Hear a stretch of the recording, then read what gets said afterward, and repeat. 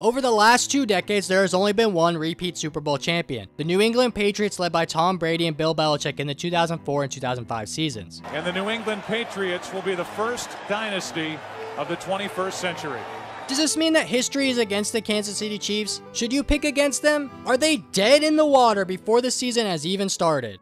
Hell no, they aren't dead in the water. They still have Patrick Mahomes. If there's one quarterback in the NFL to break a two decades long streak, it's Patrick Mahomes. Alright, but what if you don't want to pick the Kansas City Chiefs? What about picking Jalen Hurts and the Philadelphia Eagles? In 2022, they had a high powered offense averaging 28 points a game, as well as a stout defense racking up a league leading 70 sacks. This netted them the one seed despite having to manage two weeks at the end of the season without an injured Jalen Hurts. They were able to retain Brandon Graham, Jason Kelce, James Bradberry, Boston Scott, Fletcher Cox, and Darius Slay. Not to mention, the Eagles might have ended up with the best draft class of 2023. Who would have thought that drafting players from the team that won the national championship would be a good idea. But history isn't on the Eagles side either. The only team in the last 20 years to lose a Super Bowl and go on to win the following year is the Tom Brady and Bill Belichick led New England Patriots back in 2019. If you want to get real technical, the 2019 Patriots are the only team in the last 20 years to even get back to the Super Bowl after losing the year prior. I'm betting on history because if we don't learn from it, we're doomed to repeat our mistakes, which means the door is wide open for two new teams to compete for the coveted Lombardi trophy. Trading for a new quarterback can end in bliss, or it can end in complete mockery. The addition of Aaron Rodgers has the Jets primed to have a tremendous season. People will have some hesitation to pick them because of Rodgers' lack of recent playoff success, and well, because they are the Jets. But there are quite a few reasons to have faith that this Jets team will be different. Rodgers' thumb should be back to full health. Yeah, the challenging injury he played with all last year, the injury everyone seems to be conveniently forgetting when they're talking about his ability as a quarterback going going into this season? What seems more likely? Aaron Rodgers had two new receivers, a thumb injury that didn't let him practice enough, which led to chemistry issues, and in turn led to a down year after the previous two years had ended with regular season MVPs? Or the Hall of Famer completely fell off a cliff last year and won't be back to form in 2023? Garrett Wilson should make a huge jump in his second year. He's an incredibly polished player for someone in just his second season. I believe we see a jump like Justin Jefferson had in his second season.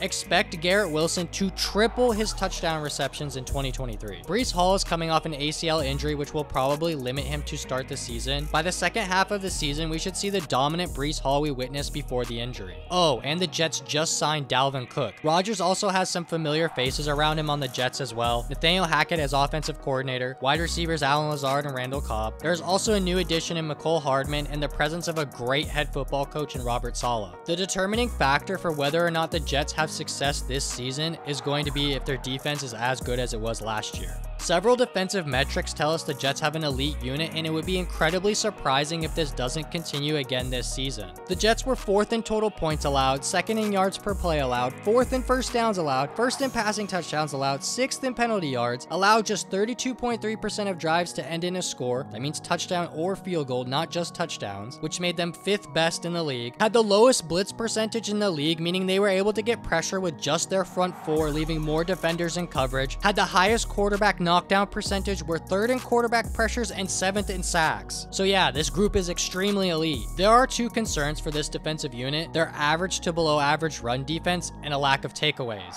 A lack of takeaways can be explained by the lack of pass attempts at Sauce Gardner. You have to get thrown at to actually get interceptions. The league average last year for turnovers forced was 22, and I'd expect the Jets to at least be closer to the average this season. As for fixing the run defense, the Jets did not address the defensive line in the draft, nor did they make any huge splash moves in free agency to address this issue. But the improvements on the offensive side of the ball will help in this area. With Aaron Rodgers and an improved offense, drives will be sustained longer, giving the defense more time to rest. In addition, the Jets are going to score more points overall. That means opposing teams aren't going to be able to run the ball as frequently because they are going to be playing catch up. Needing to pass against one of the best secondaries in the league, now that's a recipe for Jets success. The Seattle Seahawks were not an elite defensive unit last year. They are quarterbacked by Geno Smith, which many will argue is a deficiency rather than a benefit, and they have to compete in a division with the powerhouse 49ers, who seemingly have infinite offensive weapons and improve their defense year to year. Oh, and Matthew Stafford and Cooper Kupp are both healthy, and Aaron Donald is back to cause havoc. Despite the tough division, the Seahawks still have head coach Pete Carroll, who will have his teams ready to compete no matter the circumstances. I mean, who had Seattle as a playoff team last year? Seriously, I want to know. They're going to need that constant energy from their head coach because the Seahawks have the most travel distance this season of any team despite not playing overseas. The Seattle Seahawks are a collection of overlooked and underrated talent. The Seahawks, much like the Jets, have a top cornerback in Tariq Woolen who should only get better. They have another Pro Bowler in Quandre Diggs, and they managed to snag another quarterback that perfectly fits their system in Devon Witherspoon. On top of that, they drafted Derick Hall, brought back a key vet in Bobby Wagner, have Uchenna Nwosu, an underrated pass rusher, and drafted two offensive weapons in JSN and Zach Charbonnet. They also have Kenneth Walker, second year running back, who in his first year was able to rush for 1,000 yards and 9 touchdowns, and he did it in just 11 starts. He did this after dealing with a hernia in the offseason right before the start of the season. His growth this year will take pressure off Geno Smith, allowing Geno to limit his turnovers. Speaking of Geno, he was fourth in passing touchdowns, led the league in completion percentage of the players that qualified at 69.8%, and was sixth in quarterback rating. The one negative metric against Geno Smith could be his turnovers, ranking 8th most among quarterbacks.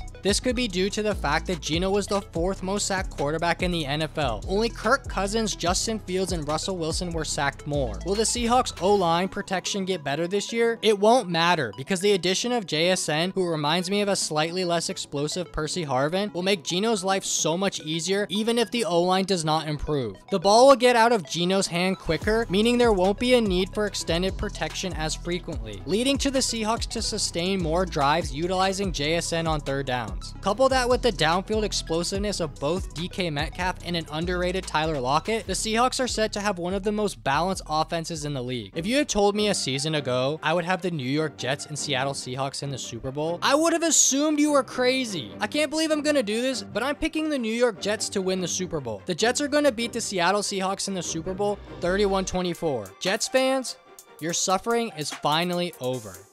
Thank you for your time.